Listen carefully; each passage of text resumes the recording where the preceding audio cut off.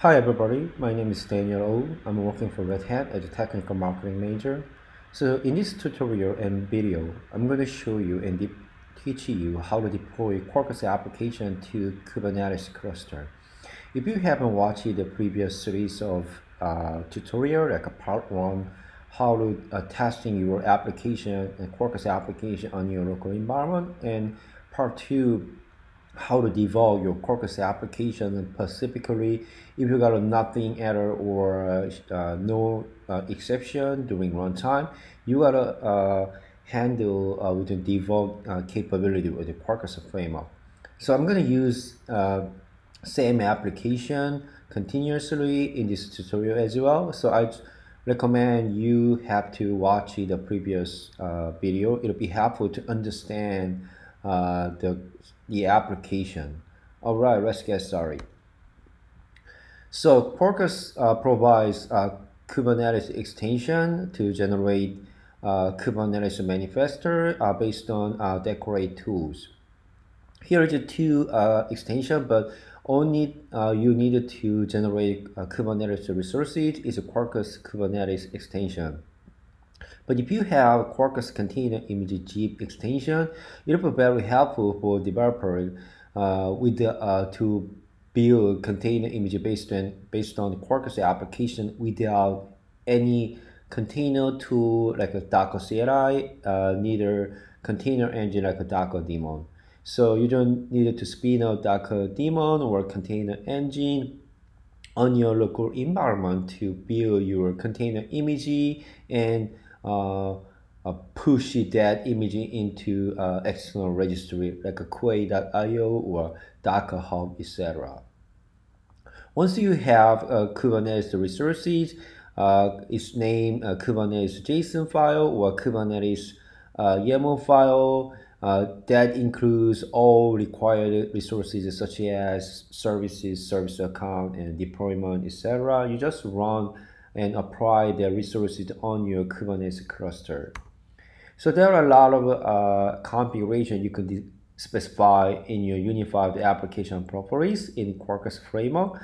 So uh, for example, you can define and specify container image group, name, tag, and also you can specify external container registry when you push your containerized application image into that registry. And you can also specify and define uh, environment variable uh, where you can uh, get or retrieve from a system environment or a secret object or even a config map. Uh, let's get uh, jump into uh, a real demo and let's see how it works.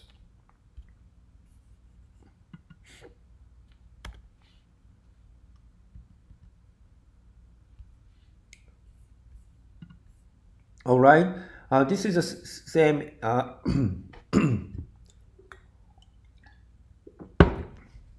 all right, this is a, uh, exactly same example application to expose a couple of RESTful API um, that we used in the previous tutorials and demos. So, for example, uh, uh, I'm going to uh, remind quickly about what application is. Uh, here is the uh, uh, the return uh, hello with the REST endpoint and hello and the greeting with the parameter and raise the, uh, the last letter with the parameter. So let's try to run this application with live encoding mode, aka Quarkus dev mode.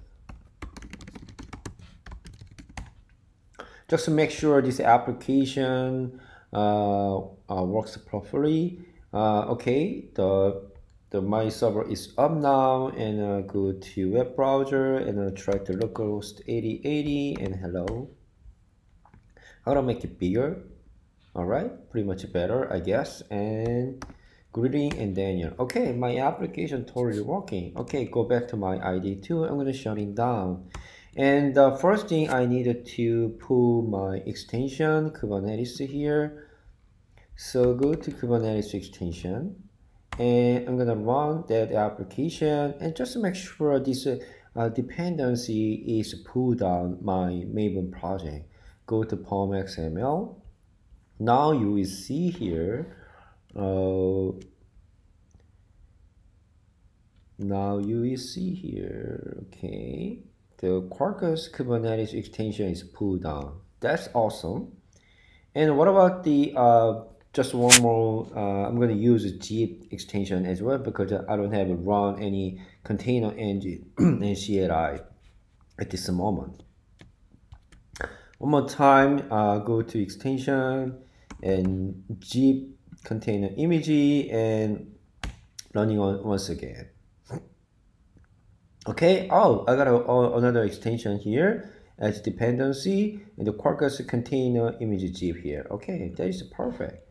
All right, uh, I'm gonna Maven now packaging this application. I'm gonna skip uh, test because we already done this uh, multiple time in the previous uh, tutorial. And I'm gonna package it maybe, oh, just one more thing. I need to add the Kubernetes configuration here. Okay, I'm gonna comment uh, test port here, and here is my uh, configuration. I'm gonna use the Jeep, uh, the tool to containerize my application, and I'm gonna use uh, the JVM base image from uh, the uh, the minimal uh, Alpine OpenJDK 11, just JRE, not whole JDK because it's small, smaller and faster to start up. And I'm gonna build this image and push image where I need to push it in my uh, the external registry Docker Hub with my credential, and I'm gonna uh, uh, sign this image name kubernetes-demo, All right. I'm gonna run uh, the Maven packaging application. Let's try to take a look at the target directory. In the meantime, you will see uh, the new Kubernetes uh, directory is generated. And you, when you go to Kubernetes directory, you can see two type of format, JSON and YAML. But the content is exactly the same.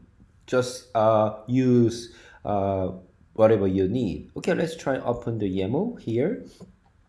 Okay, oh, here you go. So all the service account is already uh, generated and the service is already also generated and deployment, how to deploy the application.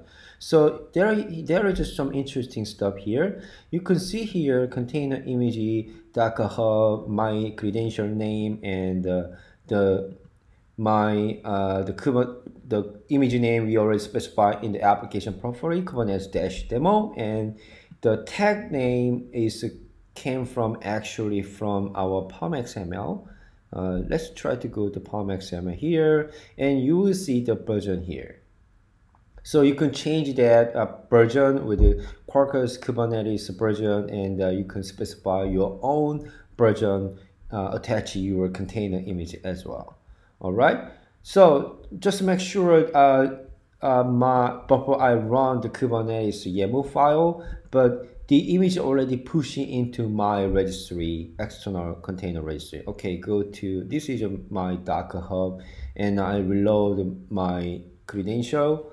And now I see just a minute ago, last push it with this tag name. Oh, so the Jeep extension automatically containerize and push it into my uh, external container registry with my specified tag name and uh, image name that I specify and define in application profile. That is awesome because I don't even need to uh, container to container engine in my local environment. They totally uh, save my uh, uh, resources like a memory, CPU, etc.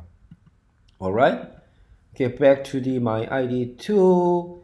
And just to make sure, actually, uh, today I'm going to use a Minikube and Minikube and status.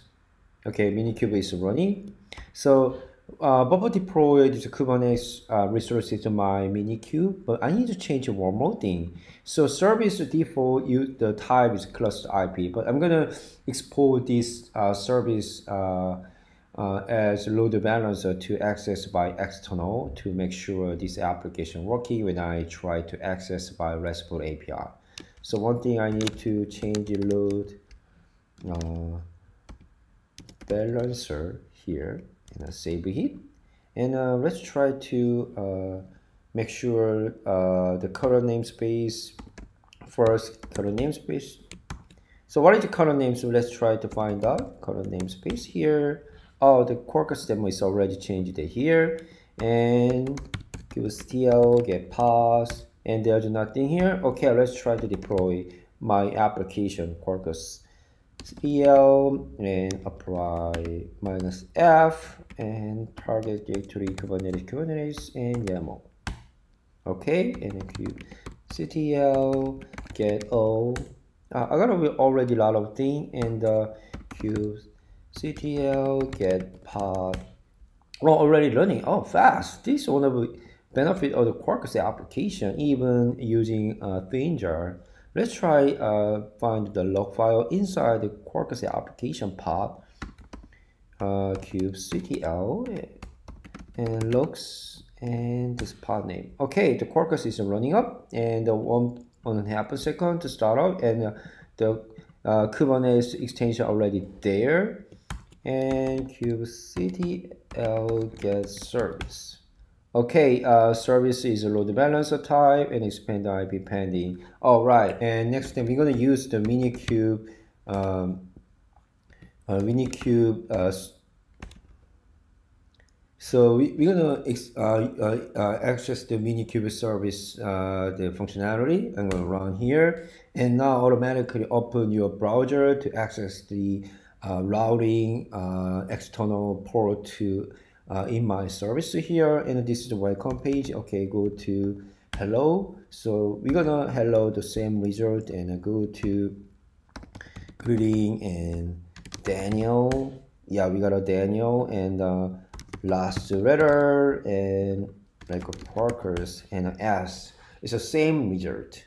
Okay so just a quick summarize of this video so Quarkus provide Kubernetes extension uh, to generate all Quarkus resources uh, in order to uh, deploy your Quarkus application in Kubernetes cluster. And also, if you got uh, Quarkus Jeep extension, you don't need to uh, container CLI, container engine uh, to build your application with the containerization functionality.